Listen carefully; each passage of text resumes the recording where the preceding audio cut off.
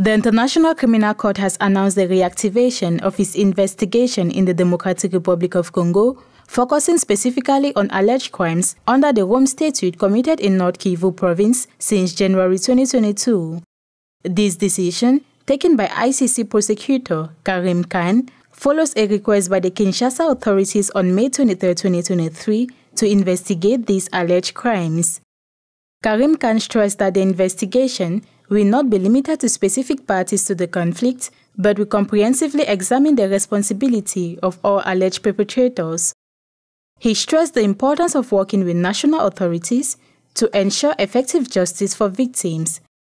The eastern region of the Democratic Republic of Congo has been plagued by violence for more than two decades, with more than 100 armed groups active, including the M23 rebels, which has been accused of serious human rights violations.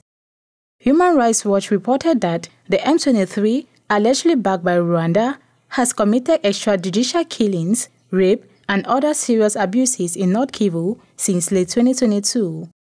While mediation between the Democratic Republic of Congo and Rwanda is ongoing, the rights of victims must remain a priority regardless of any agreements reached.